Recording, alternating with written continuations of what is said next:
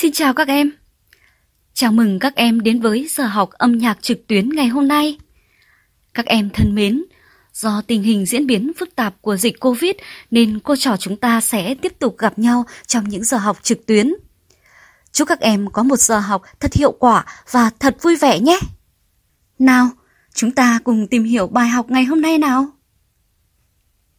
Ngày hôm nay, chúng ta sẽ tìm hiểu tiết 10 học hát bài Lớp chúng ta đoàn kết, nhạc và lời của nhạc sĩ Mộng Lân.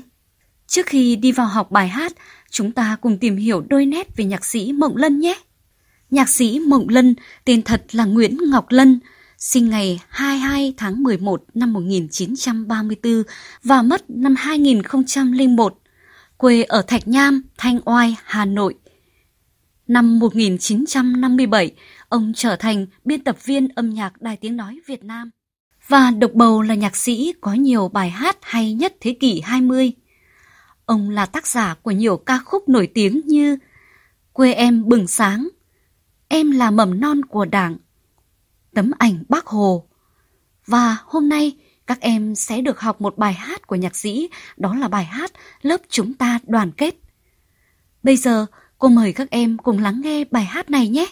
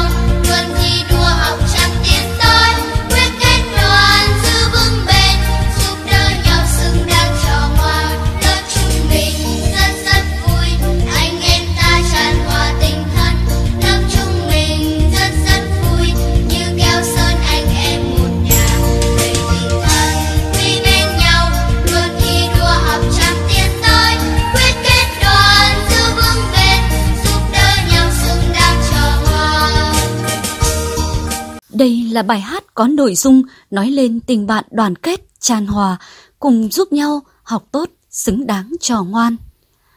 Bài hát được viết ở nhịp 24 với sắc thái hơi nhanh, vui. Trong bài hát có sử dụng nốt móc đơn, đen, dấu lặng đơn, dấu nhắc lại. Để thuận lợi hơn khi hát thì cô mời các em cùng khởi động giọng nhé.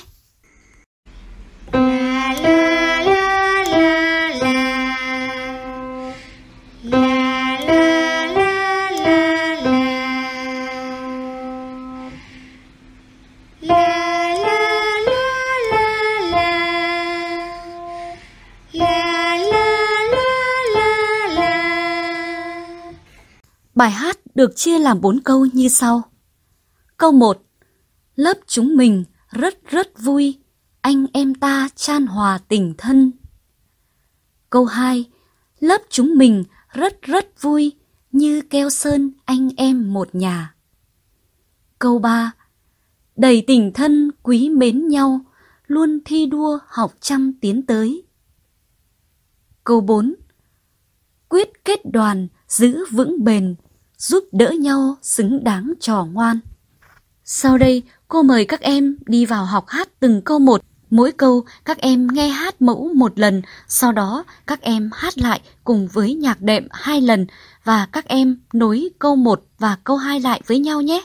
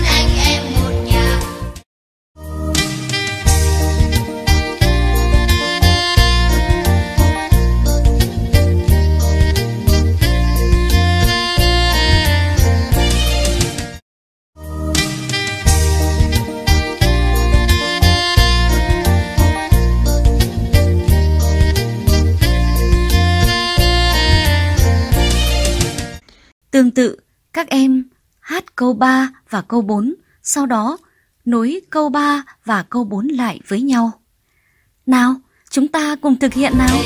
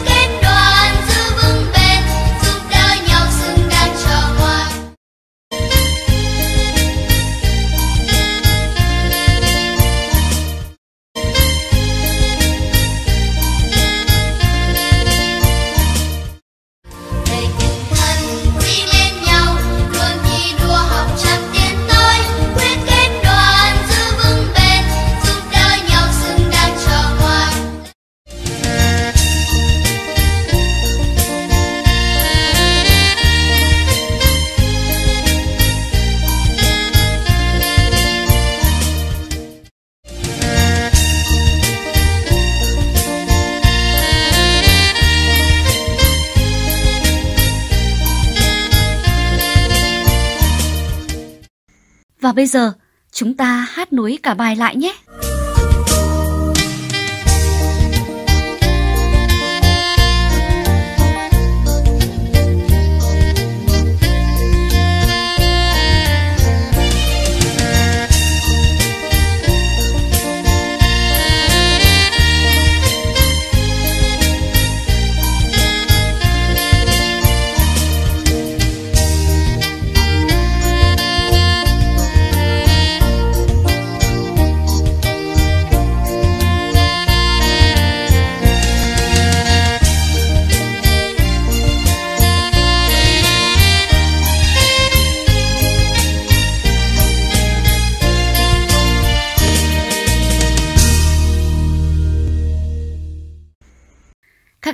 Mến, để giúp cho các em rèn luyện kỹ năng nghe nhạc và hát chắc nhịp hơn. Cô mời các em vừa hát vừa kết hợp gõ đệm theo nhịp. Các em sẽ gõ vào những nơi cô đánh dấu ít màu vàng nhé.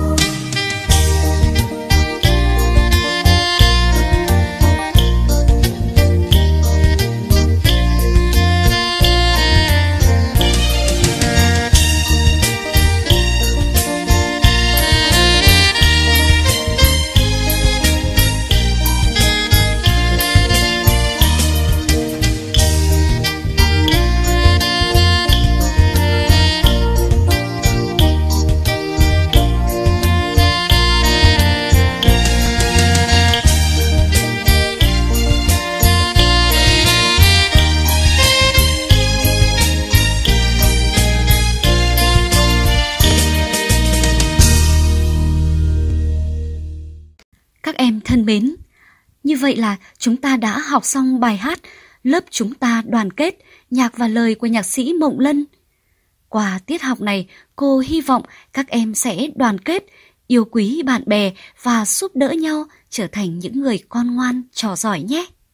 Các em thân mến, do lịch dạy đẩy chương trình để hoàn thành chương trình học kỳ 1 trong tháng 12 nên cô sẽ lồng ghép tiết 11 vào trong bài học hôm nay nhé. Trong tiết học 11, chúng ta sẽ ôn tập bài hát Lớp chúng ta đoàn kết của nhạc sĩ Mộng Ngân.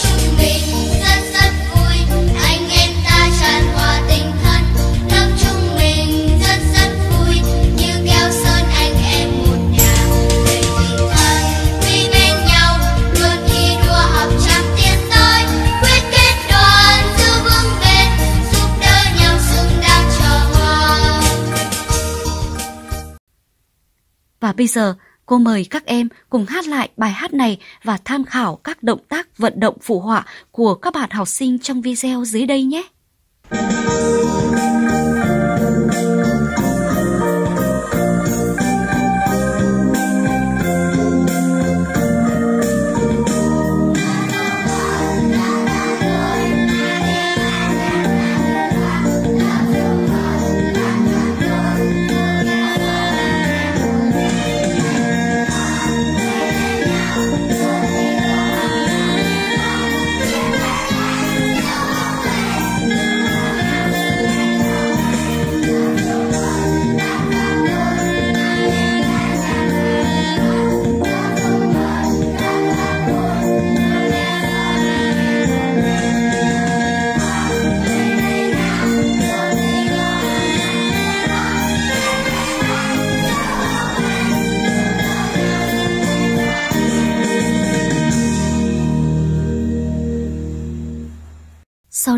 Cô mời các em thực hiện hát lại bài hát với nhạc đệm và kết hợp vận động phụ họa theo bài hát nào.